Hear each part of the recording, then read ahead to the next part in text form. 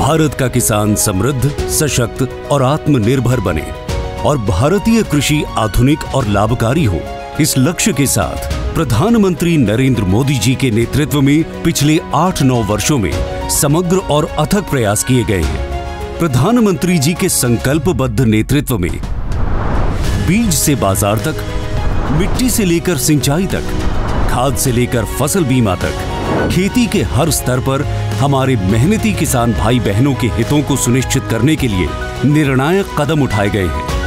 हाल के वर्षों में हमारे अन्नदाता के द्वारा रिकॉर्ड खाद्यान्न और बागवानी उत्पादन देश में खेती की लगातार बदलती तस्वीर को दर्शाता है।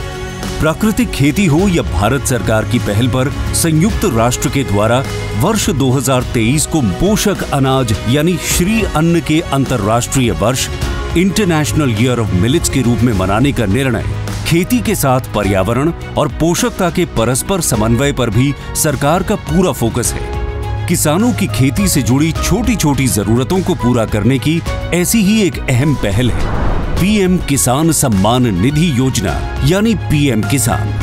पीएम किसान के तहत दो हज़ार रूपए की तीन किस्तों में हर साल छह हज़ार रूपए किसानों के खाते में सीधे ट्रांसफ़र किए जाते हैं। 11 करोड़ से अधिक किसानों को अब तक मिले सवा दो लाख करोड़ रुपए ने एक नई ताकत दी है। जब खाद लेने का समय होता है, जब बीज लेने का समय होता है तो ये मदद किसान तक पहुँच जाती है। पीएम किसान निधि ने उनकी बहुत बड़ी चिंता को कम कर दिया है। कोई बिचौलिया नहीं, कोई कटकी कंपनी नहीं। सीधा सीधा मेरे किसान के खाते में पैसा चला जाता है। दुनिया की सबसे बड़ी डायरेक्ट बेनिफिट ट्रांसफ़र योजनाओं में से एक पीएम किसान सम्मान निधि की सराहना अंतरराष्ट्रीय मुद्रा कोष जैसी वैश्विक संस्थानों ने भी की है।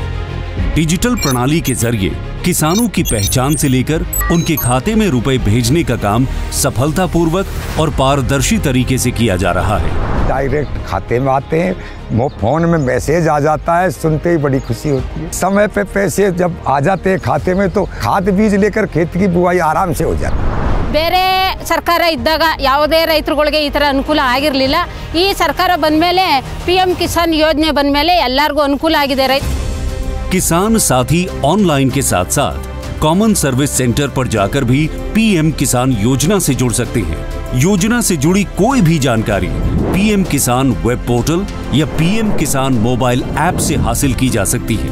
और किसी भी समस्या के समाधान के लिए हेल्पलाइन नंबर एक पाँच पाँच दो छह एक की मदद ली जा सकती है। चार साल से लगातार चल रही इस किसान सम्मान यात्रा को आगे बढ़ाते हुए किसान हितों को समर्पित प्रधानमंत्री श्री नरेंद्र मोदी जी द्वारा आज पीएम किसान की तेरहवीं किश्त के रूप में आठ करोड़ से अधिक किसानों के बैंक खातों में सोलह हज़ार करोड़ रुपए से अधिक की सम्मान राशि को डायरेक्ट ट्रांसफ़र कर दिया गया है। समृद्ध देश, सशक्त किसान, आत्मनिर्भर भारत की पहचान।